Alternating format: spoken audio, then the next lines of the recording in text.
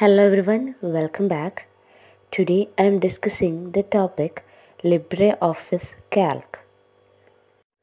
LibreOffice Calc is a full-featured spreadsheet program. It has a vast number of statistical and scientific functions. So LibreOffice Calc എന്ന് പറഞ്ഞൊരു ടോപ്പിക്കാണ് ഇന്ന് നമ്മൾ discuss ചെയ്യുന്നത് ഈ ലിബ്രെ ഓഫീസ് കാൽക്ക് എന്ന് പറയുന്നത് ആ, നമ്മുടെ ലിബ്രെ ഓഫീസ് പാക്കേജിൽ ഉള്ള ഒരു ആപ്ലിക്കേഷനാണ് അതായത് നമ്മുടെ മൈക്രോസോഫ്റ്റ് ഓഫീസ് പാക്കേജ് എന്ന് പറയുന്നത് പോലെ ലിബ്രെ ഓഫീസ് പാക്കേജ്.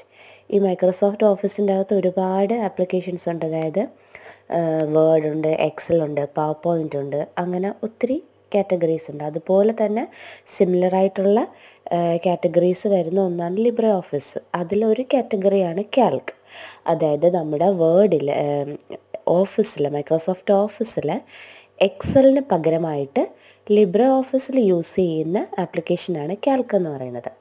സോ ഇതൊരു ഫുൾ ഫീച്ചേർഡ് സ്പ്രെഡ്ഷീറ്റ് പ്രോഗ്രാമാണ്. ഇതിൽ സ്റ്റാറ്റിസ്റ്റിക്കലും സയന്റിഫിക്കൽ ഫങ്ഷൻസും ഒക്കെ നമുക്ക് ചെയ്യാം. ചാർട്ട്സ് പിവോ ടേബിൾസ് ഒക്കെ ക്രിയേറ്റ് ചെയ്യാൻ പറ്റും. ശരിക്കും എക്സലിന് സിമിലറാണ് കാൽക്ക് എന്ന് പറയുന്നത്.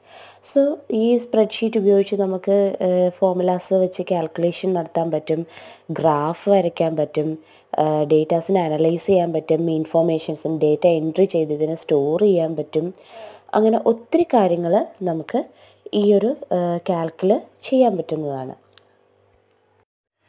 എബിലിറ്റീസ് ഓഫ് കാൽക്ക് സോ ഇതൊരു കാൽക്ക് എന്ന് പറയുന്നത് ഒരു ഓപ്പൺ സോഴ്സ് സോഫ്റ്റ്വെയർ ആണ്. നമ്മൾ ഓൾറെഡി ഡിസ്കസ് ചെയ്തതാണ്. ഓപ്പൺ സോഴ്സ് സോഫ്റ്റ്വെയർ കാറ്റഗറിയിൽ വരുന്ന ഒന്നാണ്. കാൽക്ക് എന്ന് പറയുന്നത്. പിന്നെ പല ഓപ്പറേറ്റിംഗ് സിസ്റ്റവും ഇതിനെ സപ്പോർട്ട് ചെയ്യും. ഇത് വിൻഡോസ് ആയാലും മാക് ഒ എസ് ആയാലും ലിനക്സ് ആയാലും ഒക്കെ ഈ പാക്കേജിനെ സപ്പോർട്ട് ചെയ്യും. അതുകൂടാതെ പല ഫയൽ ഫോർമാറ്റിലും ഇത് റീഡ് ആൻഡ് റൈറ്റ് ചെയ്യാൻ പറ്റും. നമുക്ക് ഓപ്പണബിൾ ആണിത്. അതുപോലെ തന്നെ ലാർജ് നമ്പർ ഓഫ് ഫങ്ഷൻസിനെ ഇത് സപ്പോർട്ട് ചെയ്യും. ദാറ്റ് മീൻസ് ഇമാജിനറി നമ്പേഴ്സ് പിന്നെ ഫിനാൻഷ്യൽ സ്റ്റാറ്റിസ്റ്റിക്കൽ ഫങ്ഷൻസിനൊക്കെ ലിബ്ര ഓഫീസ് കാൽക്ക് സപ്പോർട്ട് ചെയ്യും. സോ ഇതൊക്കെയാണ് കാൽക്കിന്റെ എബിലിറ്റീസ് എന്ന് പറയുന്നത്. Next is the features of Libre Office Calc Libre Office കാൽക്കിന്റെ ഫീച്ചേഴ്സാണ് നമ്മൾ പറയുന്നത്.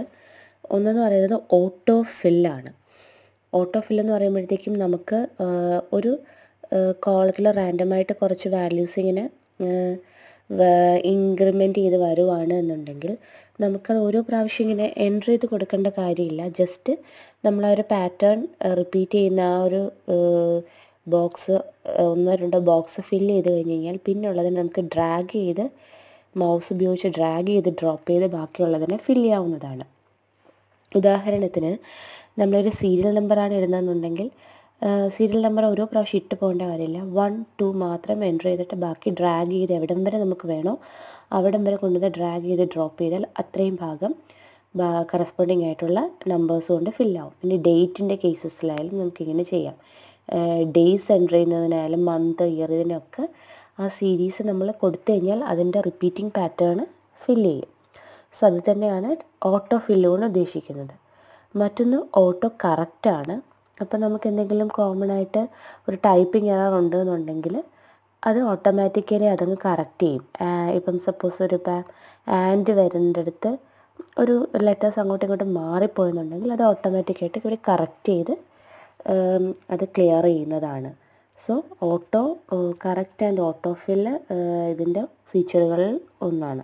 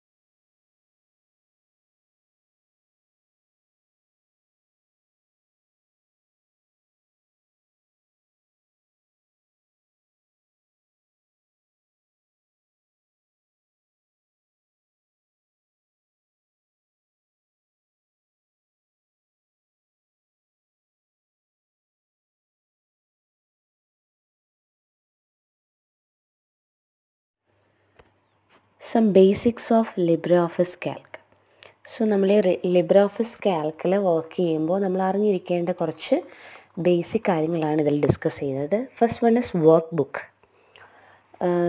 കാൽക്കിൽ ഒരു ഫയലിനെയാണ് നമ്മൾ വർക്ക് ബുക്ക് എന്ന് പറയുന്നത്. ഓക്കെ ഒരു വർക്ക് ബുക്കിൽ കുറേ അധികം വർക്ക് ഷീറ്റുകൾ ഉണ്ടായിരിക്കും. അങ്ങനെ നമ്മൾ വർക്ക് ചെയ്യുന്ന ഒരു വർക്ക് ഷീറ്റ് അടങ്ങിയ ഒരു ഫയലിനെയാണ് വർക്ക് ബുക്ക് എന്ന് വിളിക്കുന്നത്.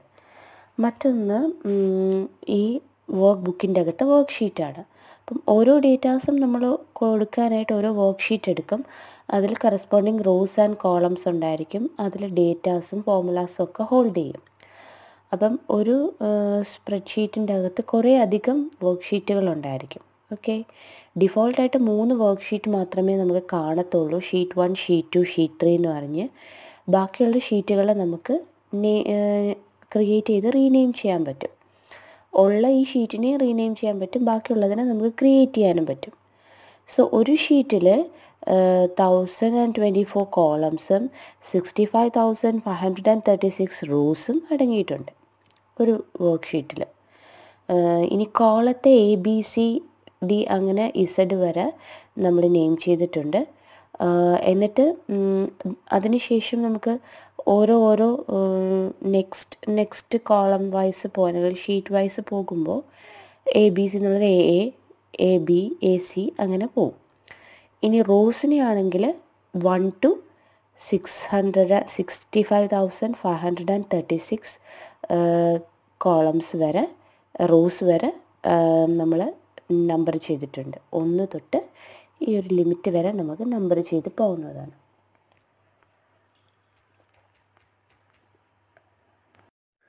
മറ്റൊന്ന് സെല്ലാണ്.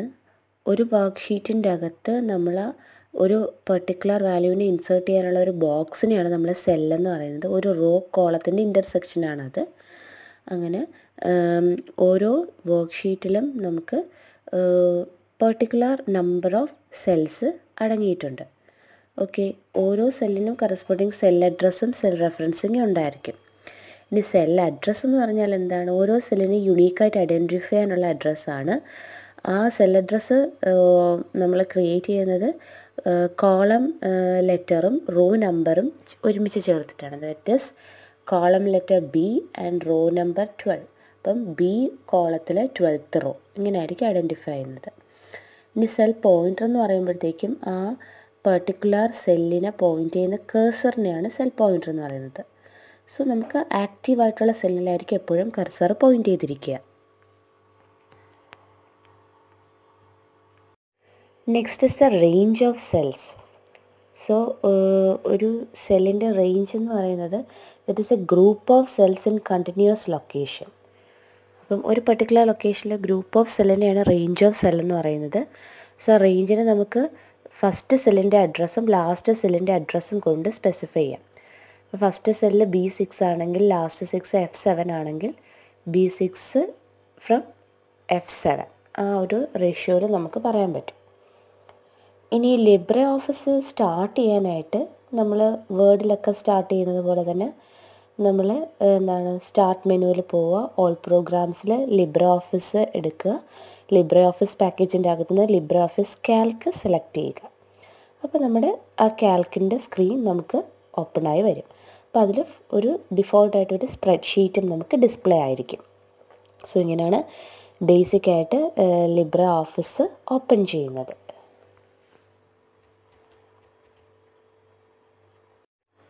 Assignment question What is Calc and what are the features of LibreOffice Calc? I hope that all of you understand this lecture. Thank you.